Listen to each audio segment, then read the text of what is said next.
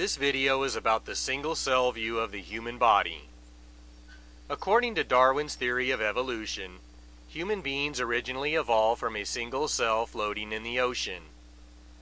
That single cell evolved into a fish, an amphibian, a reptile, an insect, a bird, a mammal, and then into a human being. Here is a two-dimensional picture of a single cell. A cell can be thought of as a fluid-filled sac. The outer covering of the cell completely encloses a hollow space in the center. The hollow space is filled with a fluid that has various things floating in it. The nucleus of the cell is one of the things floating in the fluid.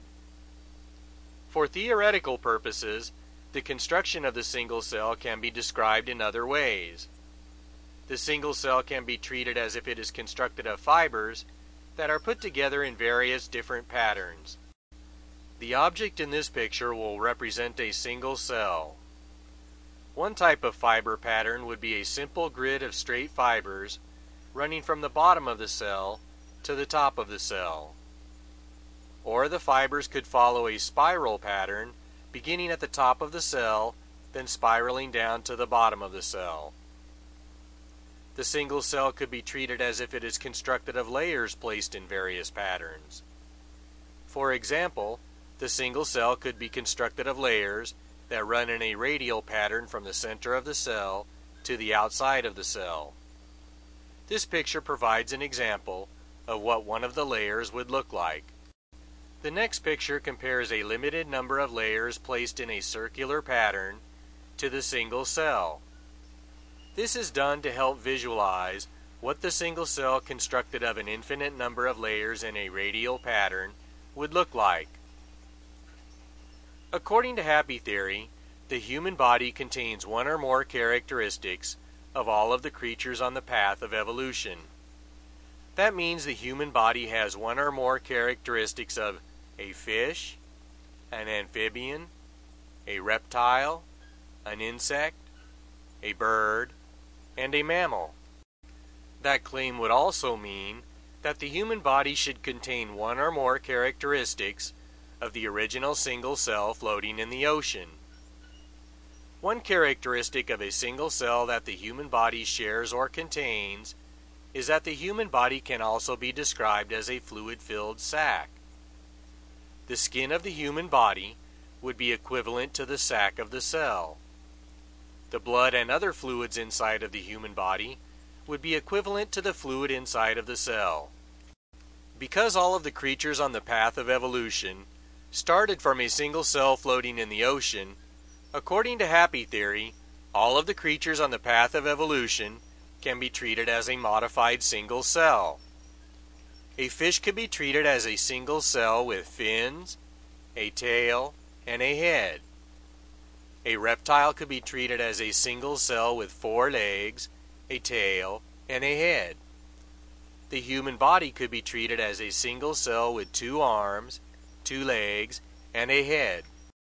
According to the single cell view of the human body, the human body can be treated as a large cell located as shown in this picture.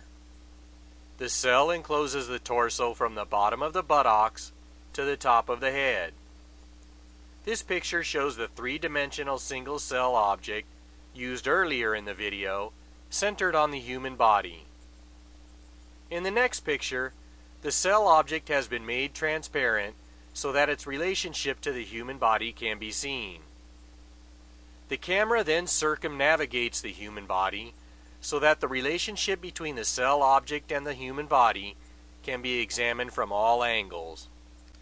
According to the single cell view of the human body, other parts of the body can also be treated as a single cell. The upper arms, the lower arms, the upper legs, the lower legs, the entire arm, and the entire leg can all be treated as a large single cell.